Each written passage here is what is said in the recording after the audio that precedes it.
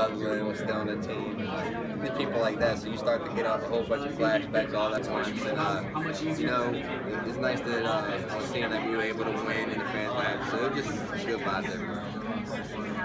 Sorry, Mike. It's okay. I was going. Um, at what point today did you realize you were kind of on? Oh. I don't know. It just as the game progressed, uh, started to test things out. Um, shot after shot, like that felt good, that felt good, and all of a sudden, uh, had a good game. Were any of your shots uh, heat checks? Like, yeah, I know this maybe not be the best one, but I'm Yeah. Which one? Uh,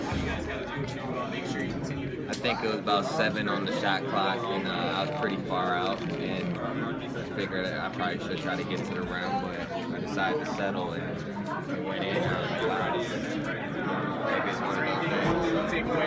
Yeah, I don't know. It's just a good feeling. Did you realize that going into this game you're 28 points away from a thousand? I was 28 points away from A about. thousand. So you hit a thousand. You didn't know? I had no idea.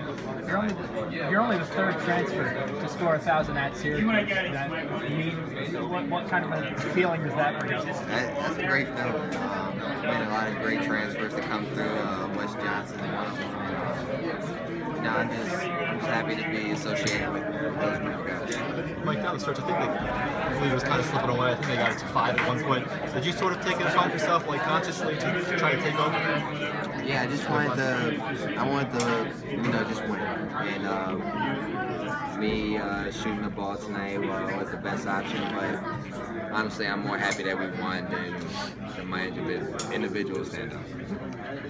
Trevor called this a must-win for you guys. It makes sense before you head on the road, and then you've got the ACC tournament. So now that it's over, how important was it to pick up this W? Very important. Uh, playing in UNC is not easy, obviously, and um, you know we're gonna have our hands full down there. So uh, any momentum we can build going into that game is big for us. Can you talk a little bit more about UNC and going down to Chapel Hill and trying to avenge that loss from earlier in the year? Yeah, um,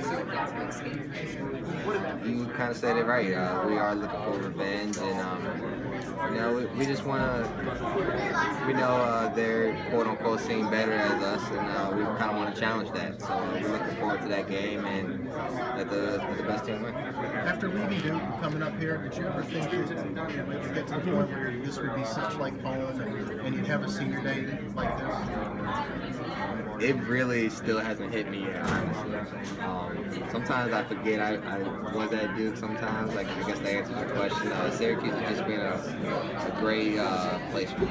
I really love Syracuse, and um, you know we had great fans, uh, students that I met, met my girlfriend here, so a lot of great things I associate with Syracuse, except for the weather.